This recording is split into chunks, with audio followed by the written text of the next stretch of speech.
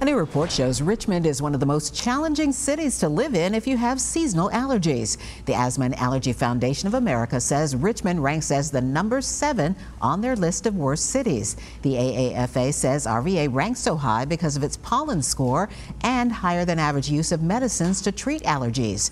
The number one worst city on the list, Wichita, Kansas, followed by Virginia Beach and Greenville, South Carolina.